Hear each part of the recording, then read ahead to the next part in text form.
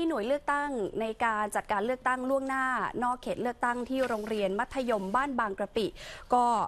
พบว่านะคะมีประชาชนทยอยเดินทางมารอใช้สิทธิ์ก่อนเปิดหีบ 8 นาฬิกากันอย่างหนาแน่น ภาพรวมของการเลือกตั้งนอกเขตถือว่าเรียบร้อยนะคะ เจ้าหน้าที่สามารถอำนวยความสะดวกให้กับประชาชนได้ตามที่วางแผนเอาไว้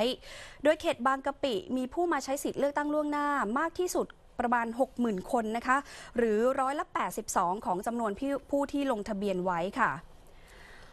ส่ส่ววนน ส่วนที่สำนักงานเขตห้วยขวางนะคะมีผู้มาลงทะเบียนใช้สิทธิ์เลือกตั้งล่วงหน้าจำนวนมาก เป็นอันดับที่ 3 ของกรุงเทพมหานคร แต่ประชาชนก็มาใช้สิทธิ์ตรงตามเวลาละค่ะ ซึ่งตั้งแต่เปิดหีบบัตรลงคะแนนเลือกตั้งล่วงหน้า 8 นาฬิกาไปจนถึง 17 นาฬิกาเนี่ยภาพรวมก็เป็นไปด้วยความเรียบร้อยนะคะไม่พบว่ามีสิ่งผิดปกติ หรือว่ามีการร้องเรียนปัญหาแต่อย่างใด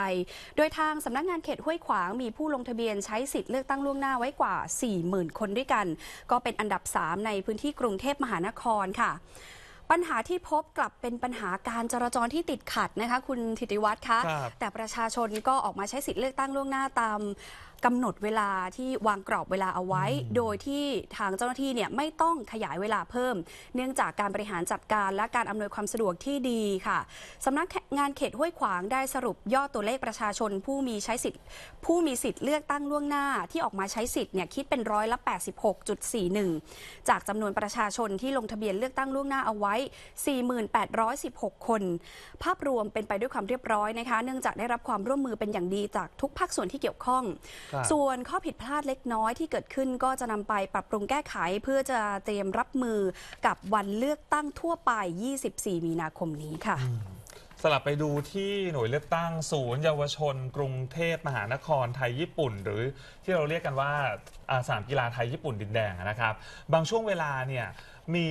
ประชาชนเดินทางมาพร้อมกันเป็นจำนวนมากทำให้ต้องรอคิวนานหน่อย แต่ว่ามีเจ้าหน้าที่ประจำอยู่ตามจุดต่างๆ คอยอำนวยความสะดวกตอบข้อซักถามให้นะครับ ภาพรวมยังคงเป็นไปด้วยความเรียบร้อยดี และตรงจุดนี้เนี่ยจะสังเกตได้ว่ามีคนรุ่นใหม่ ให้ความสนใจเดินทางมาใช้สิทธิ์กันอย่างคลึกคลื้น บางคนก็เป็น New Voter ด้วยนะครับ เป็นครั้งแรกเลยที่ได้ใช้สิทธิ์ อีกหน่วยเลือกตั้งหนึ่งนะครับที่สำนักงานเขตพญาไทครับมีการจัดการเลือกตั้งล่วงหน้าที่กรมประชาสัมพันธ์ บรรยากาศตลอดทั้งวันเป็นไปด้วยความเรียบร้อยนะครับ ประชาชนออกมาใช้สิทธิ์เลือกตั้งล่วงหน้านอกเขตกันเนี่ยนะฮะลงทะเบียนเอาไว้ 11,175 คน ขณะที่การเลือกตั้งล่วงหน้าในเขตเลือกตั้งไม่มีผู้ที่ลงทะเบียนไว้นะครับบรรยากาศก็เป็นไปด้วยความเรียบร้อยท่ามกลางการอำนวยความสะดวกของเจ้าหน้าที่ทุกภาคส่วน ไม่ว่าจะเป็นการแนะนำขั้นตอนต่างๆ การตรวจสอบรายชื่อนะครับแล้วก็รายละเอียดของพรรคการเมืองของผู้ที่มีสิทธิ์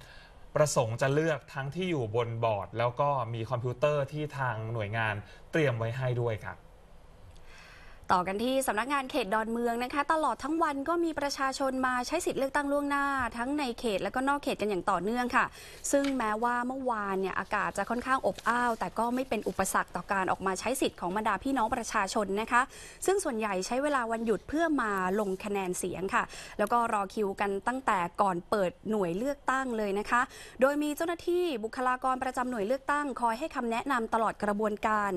โดยที่สำนักงานเขตดอนเมืองมีผู้ลงทะเบียนใช้สิทธิ์เลือกตั้งล่วงหน้านอกเขตไว้ 16,500 คน ในเขตกว่า 200 คน และคาดว่าจะมีประชาชนเข้ามาใช้สิทธิ์มากประมาณร้อยละ 80 ค่ะ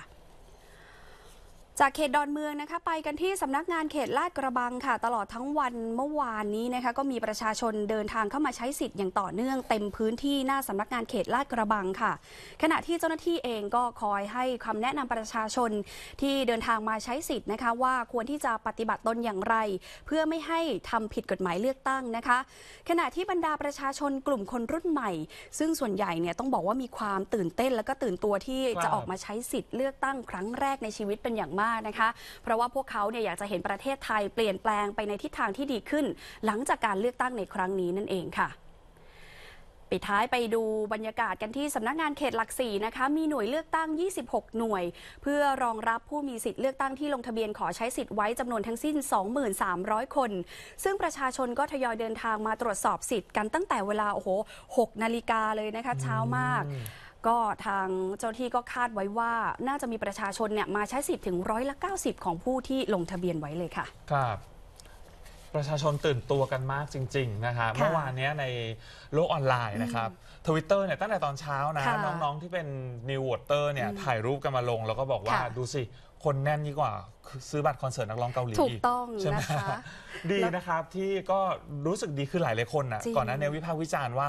น้องๆวัยรุ่นน่ะเอ่อหลับหูหลับตาไม่ค่อยสนใจเรื่องการบ้านค่ะ การเมืองครั้งนี้เป็นการแสดงพลังให้เห็นเลยถูกต้องนะฮะพลังของเห็นคนได้รุ่นชัดใหม่ เลย ว่าคนรุ่นใหม่เนี่ยสนใจแล้วก็ศึกษาในเรื่องของนโยบายใช่ ของแต่ละพรรคการเมืองเนี่ยจริงจังมากขึ้นนะคะ ใช่นะครับครับ